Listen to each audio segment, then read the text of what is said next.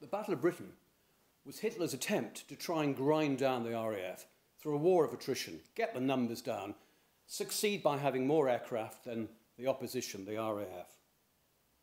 And that ran from July until October 1940. But the real reason we're here today is that on the 7th of September 1940, something else began. Hitler's strategists said that they wanted to try and grind down England, and in particular, the people who lived in the capital. And they did two things. They switched to bombing the RAF's infrastructure, their airfields, but more importantly, they began to unleash a terror war on London. They called it the Blitz.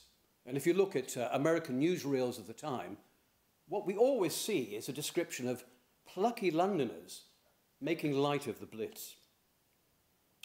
Now, this really didn't work, and it's quite extraordinary because London was bombed systematically for the next 57 days and nights. And most notable was a very large attack on London with hundreds and hundreds of German bombers on the 15th of September. And what is very strange is, despite the weight of the attack, in a way, that is the blitzkrieg, the lightning attack, it really had very little impact. And when we look back at uh, historians' accounts of the time, what we find is that we didn't have the equivalent of PTSD. They weren't Londoners, as you three know, suffering from what we would call shell shock or aftershock. They just got in with normal life. Progressively, the bombing moved away from London, although it did continue throughout the war, and it moved towards the industrial heartlands, places like Birmingham, where the majority of our aircraft were being produced. But again, it didn't have the desired effect, with most factories up and running again within less than three to seven days. Now, that isn't to deny the impact of the Blitz. About 40,000 civilians were killed by the Luftwaffe, more than half of them in London. And I think one of the most telling statistics, as I'm sure you're going to tell us, gentlemen, is that over a million houses were either destroyed completely or were damaged. And so that big push, the Blitz, we got through it.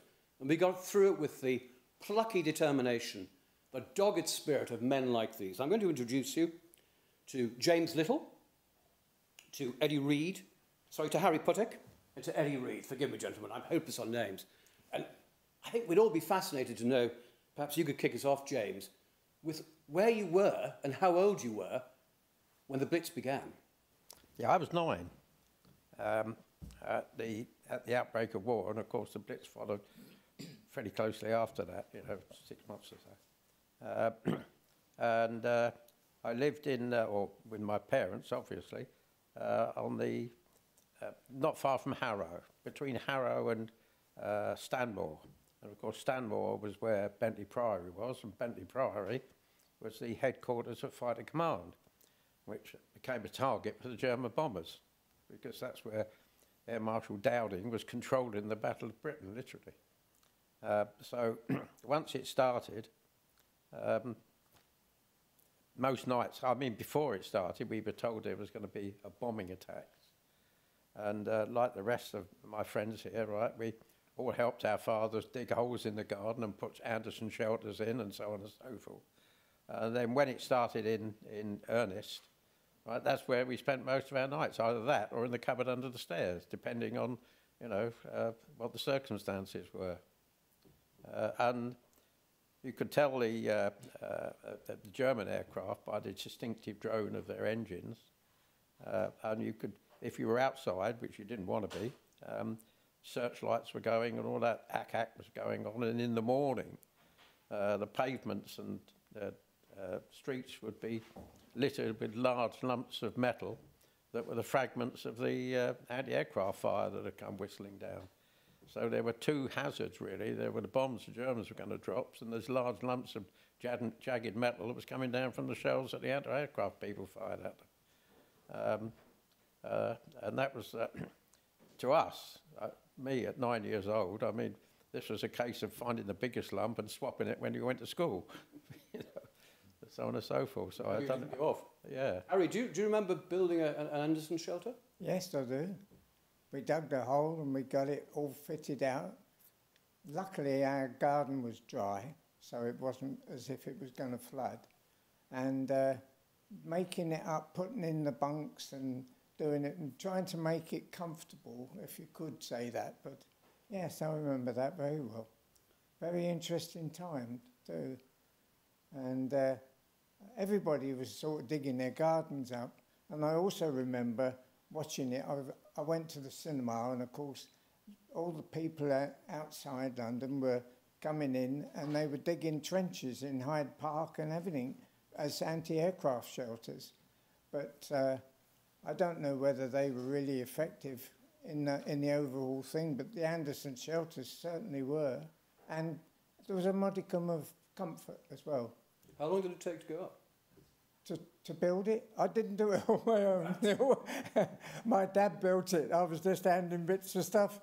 Uh, I think it took us best part of an afternoon. Really? Or, or, you know, when I say afternoon, up to about 10 o'clock at night, because that, that was it. If we didn't get uh, too many air raid sirens going off, and we couldn't really dive into the shelter because we still had bits to tighten up, you know. But uh, no, I remember that very well. Did you have one, Eddie? An Anderson shelter, definitely. Yeah, oh, yes. Uh, but Daddy didn't have to dig it himself.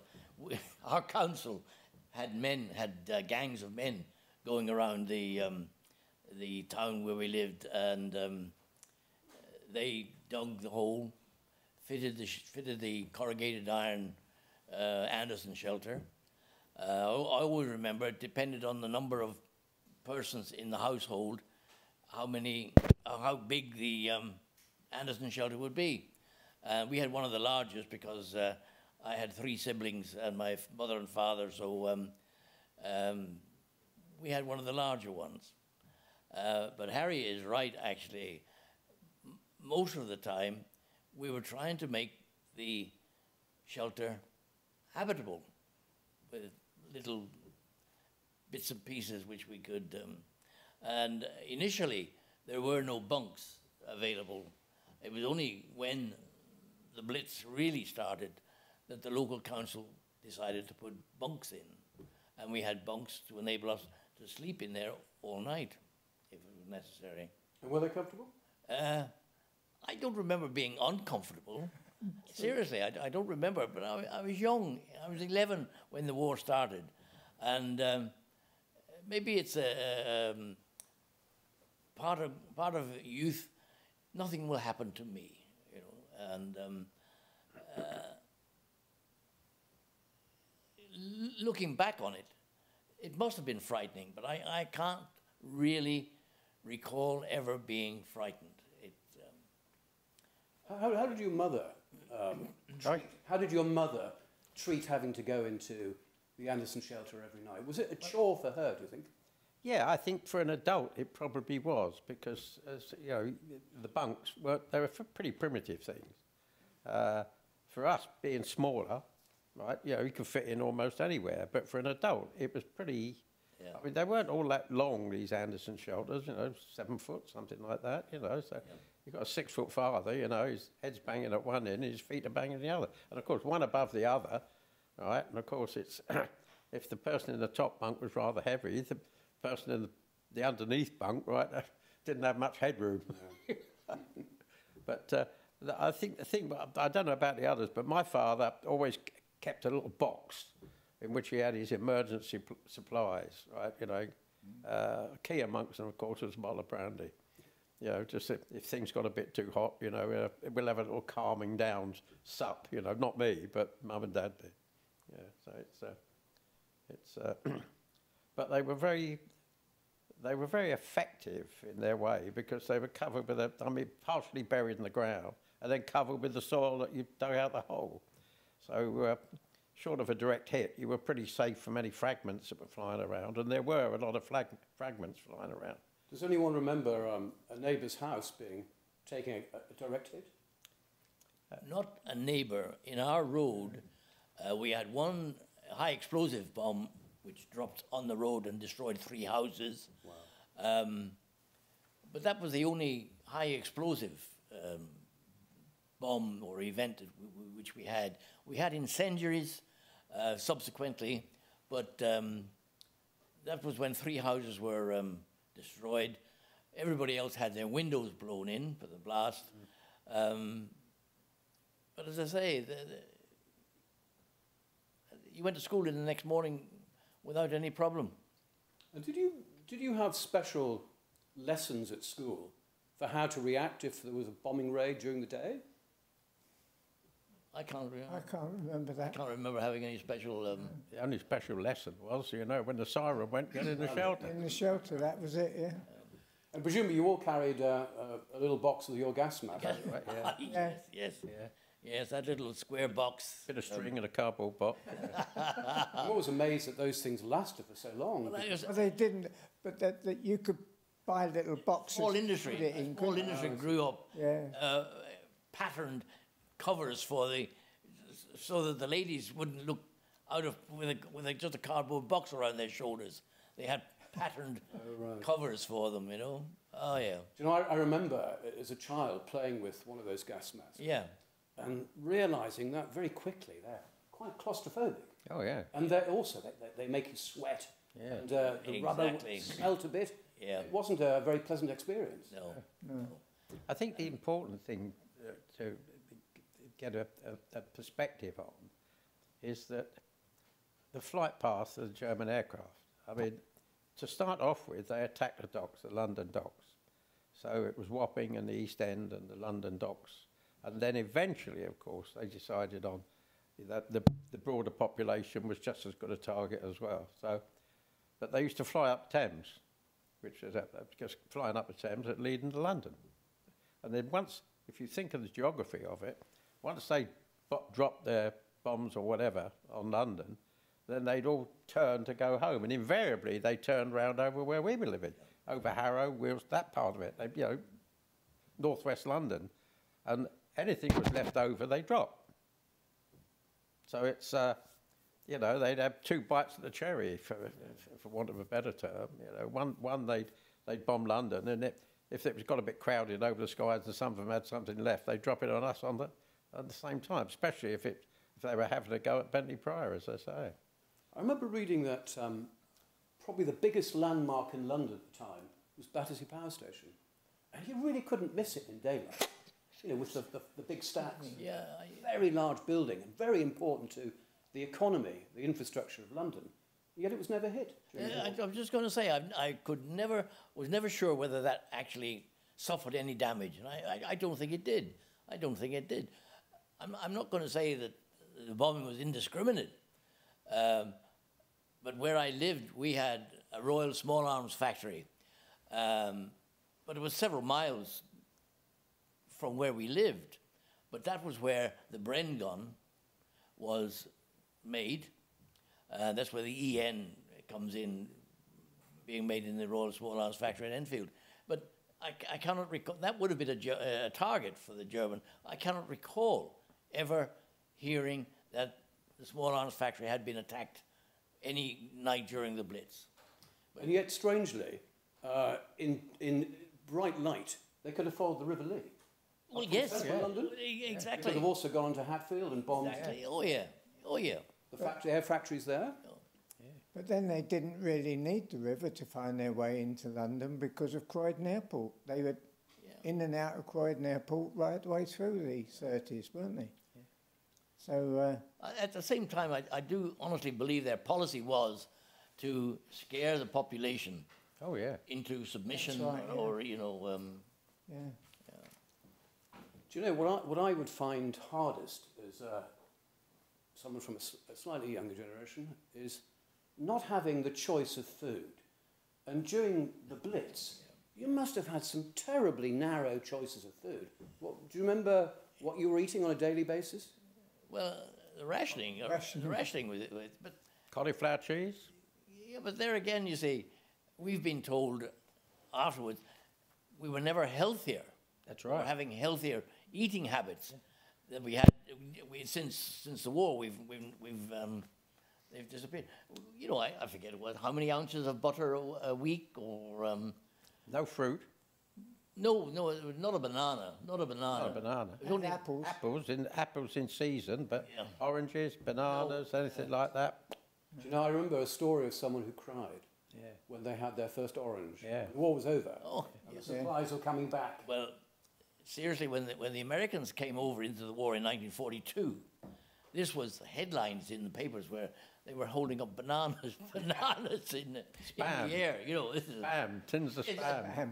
Yeah. Spam, spam. oh, I still miss it. I still miss it. Now, could you, could you get round ration books? Was there a way of getting supplies during the Well, Blitz? Not really. Ask me, I was too young. I didn't deal with it. I'm sure my mother had a few There wrinkles was up her sleeve. you know, every mother, every housewife, always flung her charms at the grocer, the butcher, for a little bit extra. Uh, there's your coupons, you know, but can we have another? Uh, it happened all the time, of course, you know. But, uh, I think the interesting thing to remember is that throughout all of this, the infrastructure of London suffered but didn't fail. yes, Tubes ran, the railways ran, Yep. the electric, Agreed. the gas supply stayed on. I agree. So all the all the utilities, right, and the people that ran the utilities, right, did a fantastic job to keep everything up and running. So who was clearing up the mess the next morning? Everybody. Everybody. Oh yeah. Um, Just a community effort. Yeah. well, I used to go around with a couple of workmen, right? You know, right, a young lad. They had their bag of tools, and, you know, putting banging frame wooden frames over windows and stretching the old, you know, polythene, not polythene because it didn't basically Didn't didn't, have exist. did? Celluloid sheets or, or sheets of plywood where the windows had been blown out. James has a theory. Great fun. Tell them your theory about national car parks. Oh yeah, I mean the big, the big, fantastic success, business success story, of course, is National Car Park. Because after the war, or during the war even, National Car Parks cleared the bomb sites Right. And started using them as car parks. Car parks. So every, if you think about it now, the Blitz, the, the sites of the Blitz still exist in London.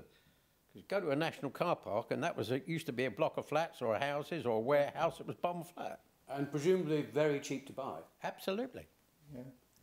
Do you know the, the I mean, the, the, the, the Blitz straddled a Christmas, 1940 and 1941. Mm. Does anyone remember anything about their Christmas during the Blitz? other than the fact it was pretty austere. It was austere. Yeah. Absolutely. I mean, Christmas was still celebrated. Yes. But, uh, It was always looked forward to. yeah.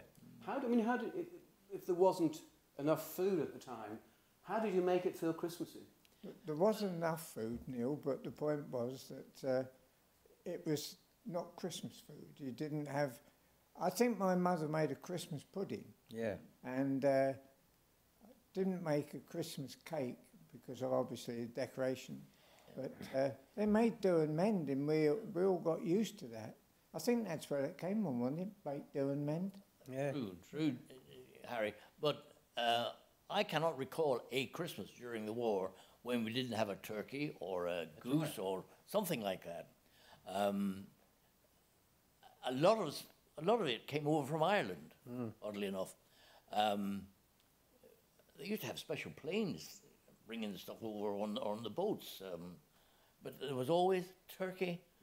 A lot of it was from Ireland coming over, you know. So does it, did the government make a, a special effort to keep spirits up? They did. Oh yeah, By bringing the stuff into Oh London? yeah. yes. Oh yeah. There was there was um, There was a lot of morale building stuff going on with posters and everything else. indeed indeed James. And I think this is the key thing about the infrastructure. The railway still worked. excuse me. The railway still worked. The buses worked. The trams worked. You know, the tube worked throughout the whole of it. They had problems. They got bombed. They got damaged. They got repaired, and they went back. And I think this is probably uh, uh, something that they, Mr. Adolf on the other side didn't actually bargain for. He thought that once he bombed it, he'd destroy the morale, but he did not affect the morale one way. In fact, if anything, he strengthened it. And of course, we had those amazing bomb shelters, the underground stations. yes. I, I mean, when, I, when I look at uh, you know, pictures from that period, there are two that strike Yeah. home for me. The first is St Paul's Cathedral, standing proudly with damage all around it and the smoke, but untouched. And you might think perhaps you know, God's looking after his cathedral, but the, you know, the other thing is people sleeping in their 100s in underground stations. That's correct. Yeah. And it's very hard to imagine It people just settling into that as the norm. it was part complete strangers. it was part of life and they adapted to it. And in fact, there was some sense of enjoyment uh, going down to the, the tube shelters at night and uh, picking a spot where you were going to lie. you know, really. But it, James uh, led, during the war when and the, the uh, keeping the morale up, there, I, I still remember the half a dozen slogans that existed during the war. Oh, yeah. Yeah. Uh, don't forget there's a war on. Um, don't talk. Keep keep Careless calm. talk, Right, yeah. costs lives. Loose lips cost lives, yeah, and all that sort of thing. All, all these uh, slogans were Keep uh, calm and carry on. yeah, keep dig calm. for victory. Dig for victory. Yeah, and big We're doing that of now, Churchill aren't we? doing this with a cigar stuffed in his I mouth. see you mentioned Dig for Victory. Yes. There was this enormous push to dig up football pitches, Oh, yeah. public parks. That's right. It Every plot, gardens. every plot of land, spare land, was used to produce vegetables and um, everything like that. You I know. mean, the biggest park in London, Hyde Park. Yeah. Yes, It had bomb shelters and it also had a big allotments, big gardens turned over to vegetable. Yeah, absolutely. Interesting you mentioned the bomb shelters because the less luxurious shelters were the brick ones that were built in all the streets. Yeah. yeah.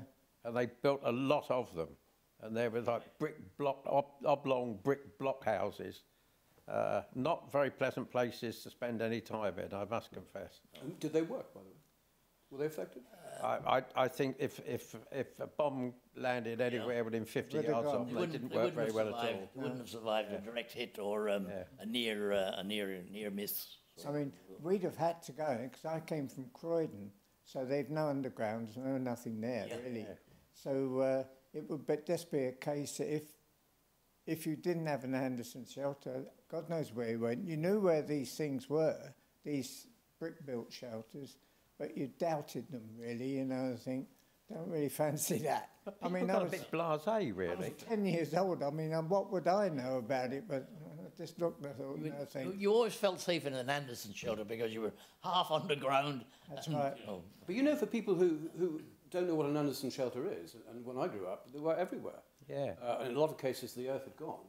But it's just a very flimsy piece of tin. it's Corrugated. corrugated iron. Corrugated. Corrugated Yes. iron. Nissen, How was the earth? It worked. Nissen, oh, absolutely. Oh, it worked. Absolutely, It was there to support the earth, you dug out the hole. And also, rather like an egg. Yeah. Round shape is very strong. Absolutely. And generated a lot of condensation. Exactly. Later on during the war, they introduced Morrison shelters, Yeah. which were for inside the house. Yeah.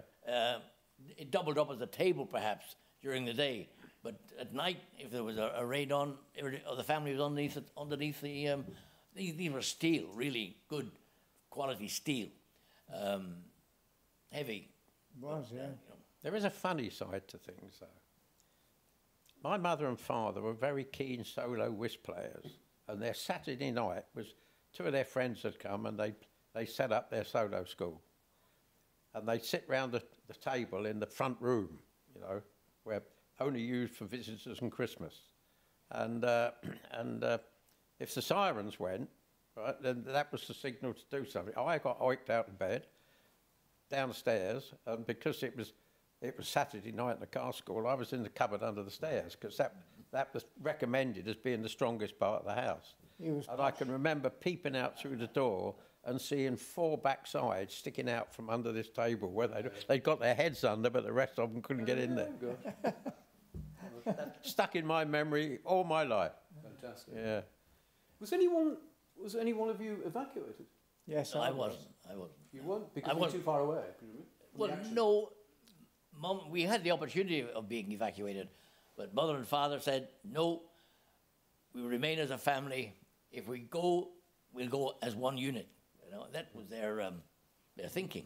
You know. Well, I was evacuated and I went on the 4th of September, which was the day after war was uh, declared.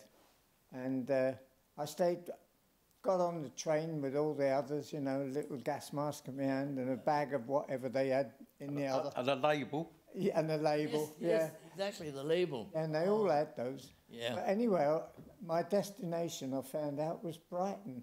They were sending me to be closer to the Germans than my family were, you know. And uh, anyway, we, we had that. And uh, after being in Brighton for about four months, getting through that bad winter, of uh, 40. 40.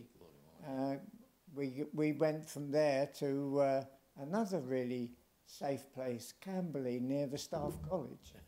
and uh, I thought, this is no game, this.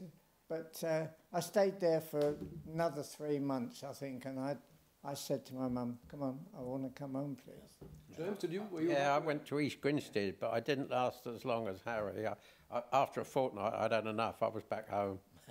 yeah, it was uh, being evacuated was not the most pleasant of experiences because No. there you were with a whole load of strangers who weren't really interested in you particularly. Other snotty nosed kids. Yeah.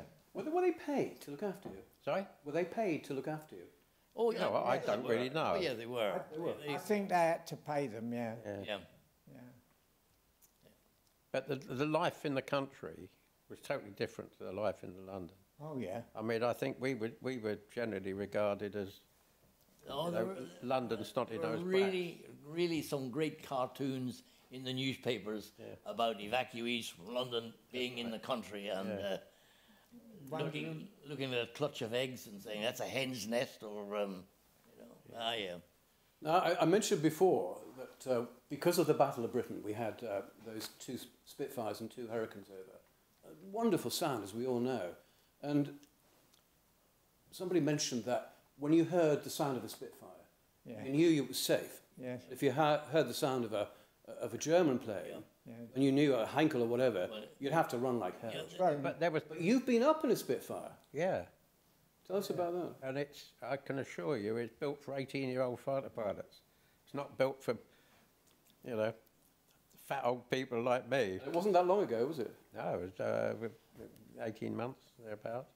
Fantastic airplane, but you've got to remember, right, the bombing raids were mainly at night. Very few daylight raids.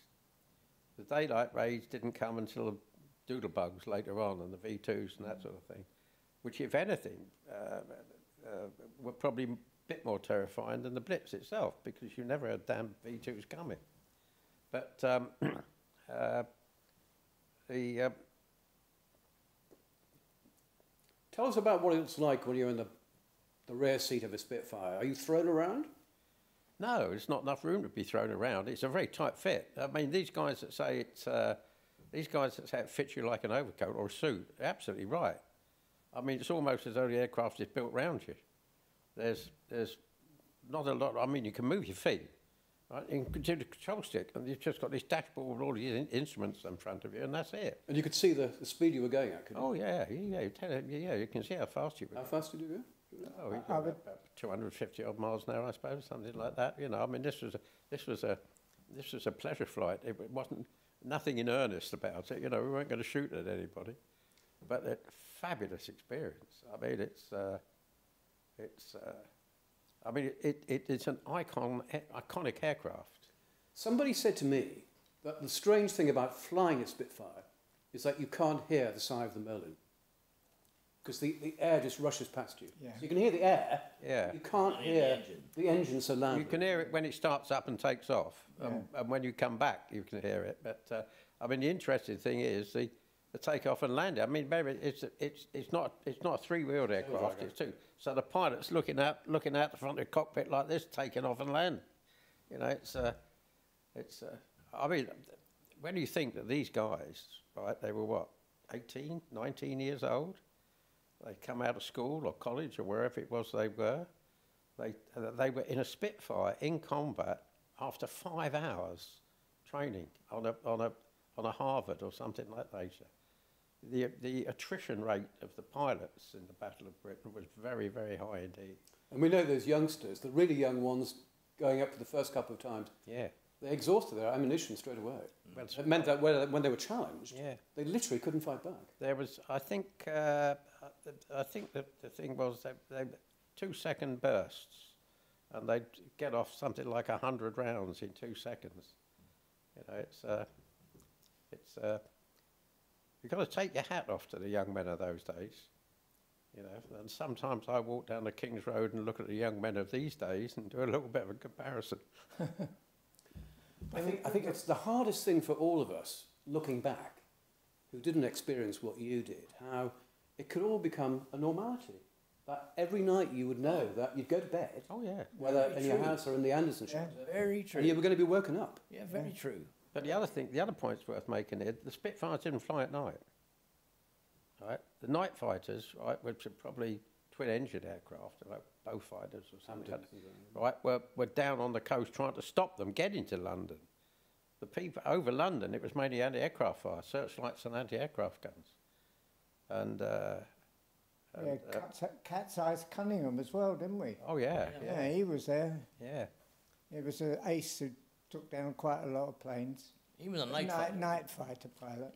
He was a night fighter, which But when James said about the, the planes coming at night, I remember seeing them at the daytime in the early days, and there was stacks of them Oh, coming yeah. up.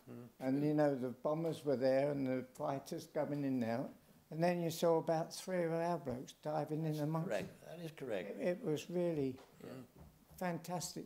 That was the fantastic part of the Blitz, is that how the fighter pilots sort Summer of of controlled it. 1940. It was a concerted effort by the Luftwaffe.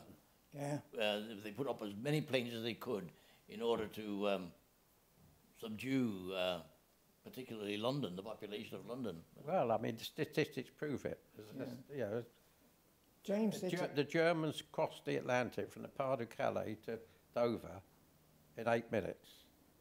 From takeoff to get into fighting altitude, 20 odd thousand feet for a Spitfire, was 15.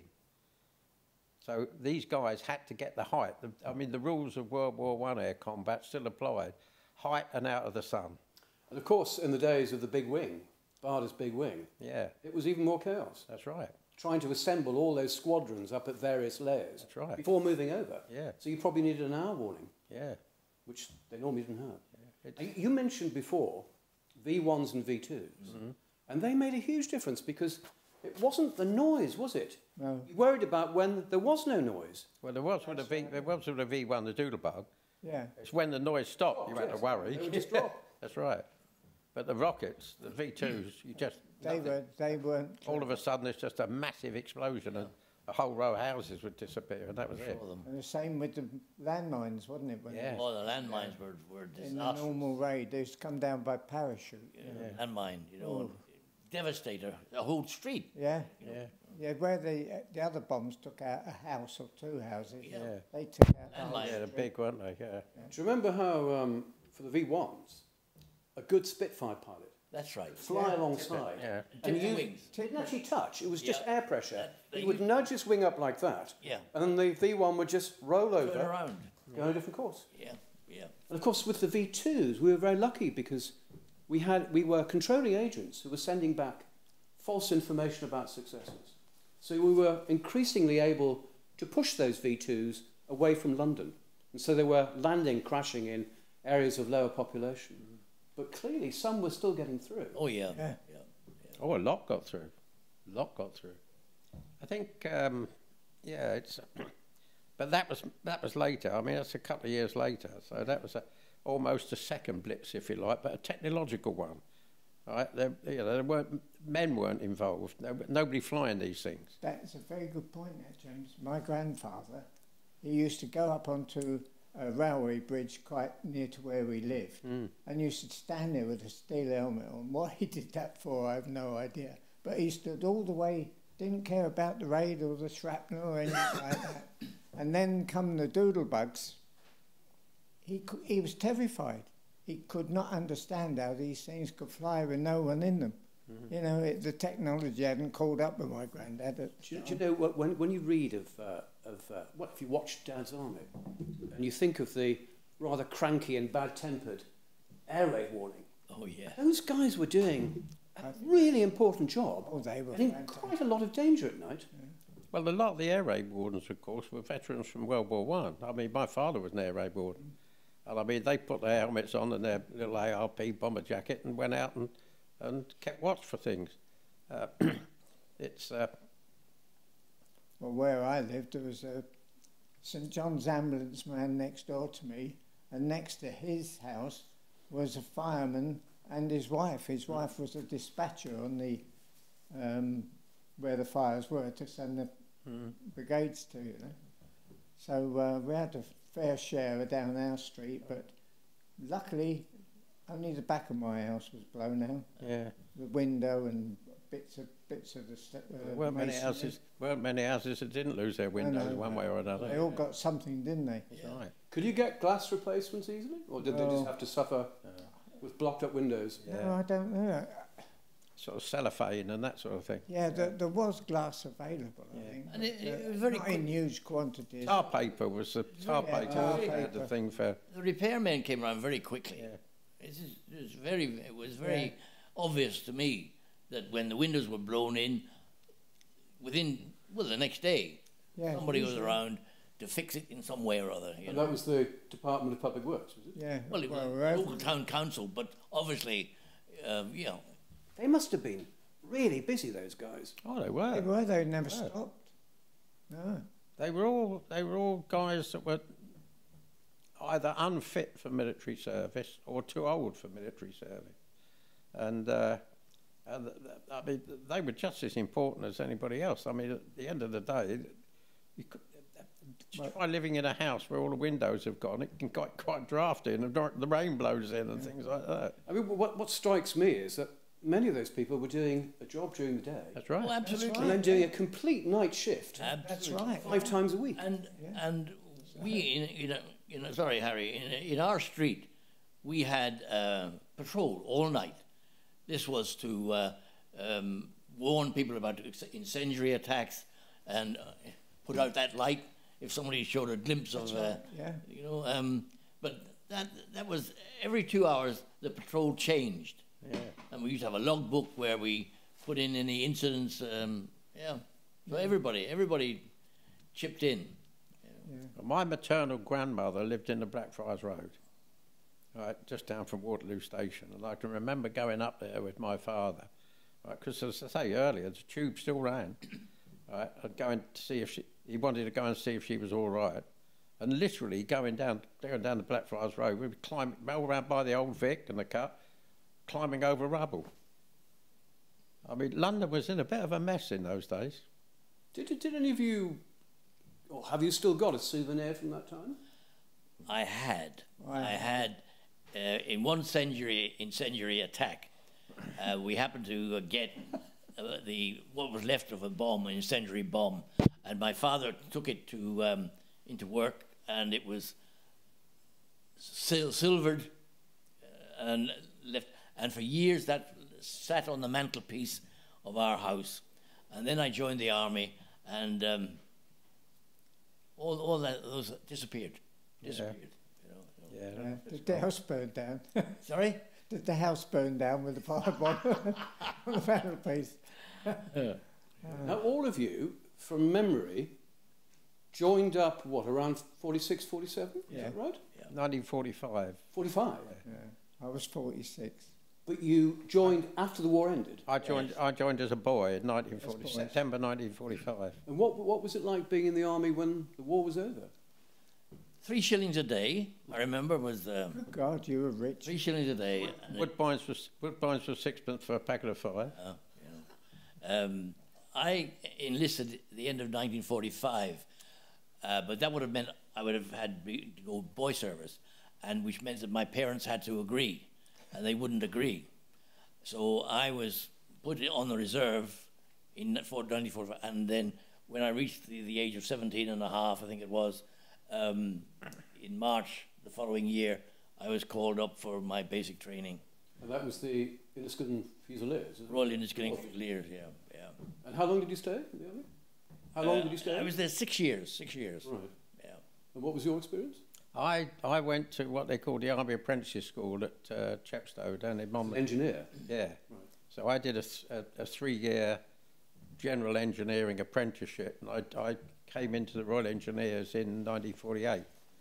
Um, when a lot of the guys that had been in discharged from the war, because there was very little work, were coming back in, and so my, my the trade that I spent three years learning was basically redundant.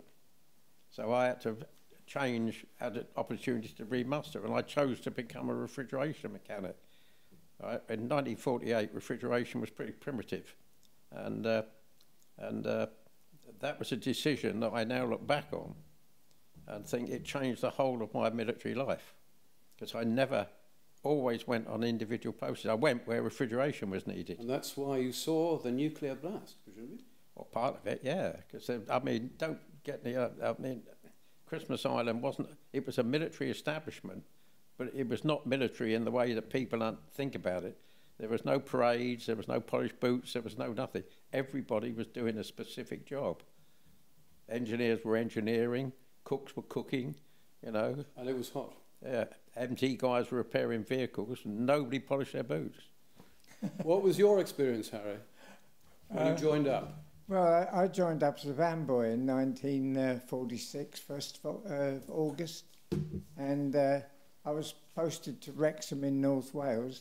I think it was the first time I'd ever been above, uh, anywhere above the Thames, you know, to the north of the Thames, and uh, got to Wrexham, and uh, after a couple of days, the bandmaster said to me, "What instrument do you want to play, Patik?" So I said, "Oh, I'd like, want to play a trumpet, sir, because my father used to play a trumpet."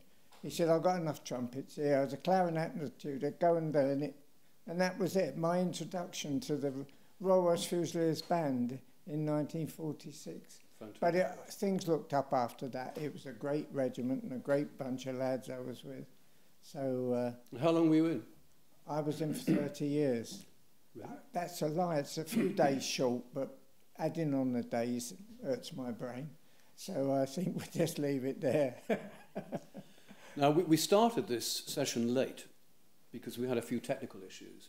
Uh, but we've got questions coming in from the real world out there. Oh, yeah. And Nicola Aiton, or Arton, she says, Has your experience of the Blitz affected you into adult life? Certainly I hadn't. I, I, I, I cannot no, uh, record. No, it hasn't. It hasn't. It hasn't. it has, going has in what respect? Basically, it was a case of getting on with it. I mean, I don't jump when things go bang, if that's what. No, Yeah. No, I Uh, don't. Not really. Well, as I said before, I mean, I think the Germans were surprised. It wasn't just that Londoners were plucky. They somehow shrugged off the mental effects of that Yeah. constant aerial bombing at night. Yeah, and then they switched out into the uh, places like Birmingham and Southampton, Plymouth, Yeah. Liverpool, Manchester. So, really, a lot of the stuff had been absorbed in, in London, but we didn't, weren't any worse off than what the other people, and they don't look as if they've had any uh, ill effects after it, or even decent effects. They just go on with their lives, which Someone else is asking whether um, uh, your experience in the Blitz made you want to join the army. I mean, did you want to, you know, fight back, do your bit? Is that why you joined the army? Well, age, age had to come into it, of course, uh, but it was always my ambition to join the army, even when I was a young 11 year old, 12 year old. Um, I'd always considered the army uh, or being a soldier as being a vocation just as much as any other profession. So, rightly or wrongly, that's my, that was my, um, yeah. Well, out of, out of three sons and a daughter that my parents had, I was the only one, I was the youngest, and I was the only one that was not in uniform. Uh, one brother in the army, one brother in the RAF, and my sister was in the navy. And uh, quite frankly, I couldn't wait to get into, get, get into the army. I wanted to join the army anyway. My father was a, a military man, he was cavalry in World War One. And uh, at the end of the day, right, I couldn't wait to get in. And like Harry, I mean, I did 25 years, and I don't regret a, a single day of it. It gave me very good qualifications, got a very good job when I left the army, and I have no regrets at all. no, great. And I'd commend it to some of the young men today. No, that's what I was going to ask you, James, whether you think that more people should join up. Well, it, it, the army is a very technical place to be, regardless. Yeah. Just remember that you know the statistics still apply. For every one guy in the front line carrying a rifle, it takes ten behind him, right, to make sure he's properly equipped, maintained, and everything else. So there are massive opportunities for very, very good education in the army. As an engineer, you would know that we That's now right. have the most Yeah. amazing complex kit. Yeah, Aircraft that can do the job of 50 aircraft. right. That's excellent. Yeah. Yeah. yeah. Now, I'm going to ask you a bit of an awkward question because the governor may be watching this. What's the best thing about being a Chelsea pensioner?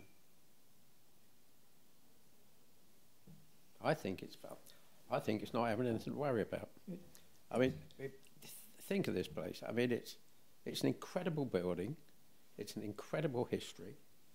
Um, you are among kindred spirits. I mean, we all sit here. There's, there's, there's no case of not. We've all been there, done it, and got the T-shirt. Let's put it that way. And at the end of the day, you recognise that. Um, we looked after remarkably well. I sleep like a log every night because I don't have to worry about maintaining a house, mowing the grass, or anything like that. Oh, that's right. You know, and it's uh, What about you, Harry? it takes your worries away. Similar likewise, yeah. I mean, personally, I think it's a no-brainer for people who want, who are left on their own, Absolutely. and they they they feel on their own. It's camaraderie. You need, yes, the camaraderie and the banter that we say amongst ourselves. You know, Oh yeah, don't come up here with a thin skin. we all do plenty of that. but uh, yeah, it's a, a good place to come and be looked after because we are looked after, particularly through this nasty Oh, period we're going through now. Indeed, I don't want to sort of get brownie points, but I think the governor's got it on the nail. totally agree. Yeah. Totally agree. And we did lose 10 people to, to COVID, Yeah. but that was at the very beginning of the. Uh, Exactly. And it, one would harshly say to be expected. Yeah. But uh, touching wood, we've been clear ever since. And you know that those numbers are fantastic when you compare them to the outside world. Oh, I, I, I Yes. agree. And I, I mean, I know one of the philosophies here Yeah. is about well-being. I mean, you mentioned you're well-fed, but you know, fitness is important here, both mental and physical fitness. But there's also a certain amount of discipline here, which we all have been used to in our serving years. And of course, um, it applies to washing your hands and all this, all the, um, the things that we have to do to prevent the uh, spread of the uh, COVID. Self-discipline is the important factor. Agreed. that we, you know, say that's it, do it. Not everybody likes to do it, but I can't say there's things, there's some things I don't like, but then again, you know, that happens to everybody, doesn't it? In You know, any life. I was inspired by watching colleagues living in, working seven days a week, 12 to 14 hour days, Yeah, everyone mucking in and helping, and Yeah. one huge family. Yeah. And I wonder, you know, do you think this, this is the legacy of your military career? Because mil- in the military, you learn to support each other. You look after your brother in arms or your That's an essential, an essential element of being in the army. yeah. If You, you, you don't have to necessarily like the man standing next it, to you, but you support him, and I think we all joined the army as young, very young men. I, I joined as a boy. You know, Eddie joined as a boy. So, when you come to the end of your life, um, and I'm not, I'm not being morbid here, but when you come to your later years, let's put it that way, uh, you're living alone because at the end of the day, one of the prerequisites, you must, you know, your family's grown up, you know, your wife is unfortunately gone or, or uh, for whatever reason. Um, what better place to be? You know, you, you, you, start young and join the army, you live in the army. Um, you may have gone out into civil life and had another. I mean, I did 25 years in industry, right? And I left the army in 1970. But I was sitting in my house down in Hampshire one day and I looked out the window and thought, here I am, you know, in my middle 80s. I don't really want to mow the grass anymore. I don't want to lay in bed when the wind's blowing like stinking, worrying if I'm going to go in the following day to get the tiles fixed. Why don't I go back and, you know, apply to go to Chelsea and go back to where I began? That's Do right. you know, one of the things that inspires me is knowing that every one of you still gives something back. Oh, yeah. You all fundraise, you all support local charities, people speak to, to school children to educate them about the war and the Blitz in particular, I think, because you can, you can somehow meet minds if you're of a similar age to them as you were during, during the Blitz. That's And right. that's really important. I think I think it's an important point because I think we would all agree that the one thing during this COVID crisis that we miss is the interaction with the public. We miss the people that come up and say, "Can we look around the hospital?" We miss meeting people when we walk around Ranelagh Gardens. Absolutely, The little old ladies that come in and sit there every, You can Yeah. sit and have a chat with them, you know. Be good, it'd be good when we can get out and start talking to people again. Well, I I mean, I cross my fingers it's soon, but I think we, you know, we have a little bit further to go. Um, one of the great things about the Royal Hospital is tradition, isn't it? Oh, yeah. And it goes back over 300 years. And, Exactly. you know, it's amazing when you can show people what the berths used to be like and what they are now. But this isn't a place that stands still. It's a place that wants to reach out to the outside world. Absolutely. And I'm, I just the question I've been asked here is on my iPad.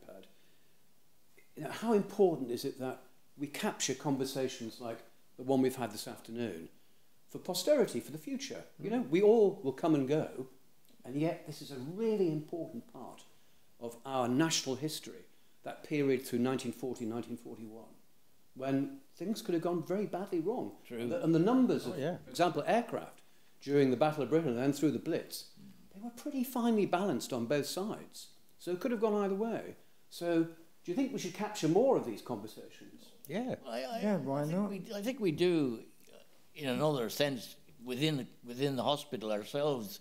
We um, well, we we go out uh, to other um, other events and um, converse with people who we meet.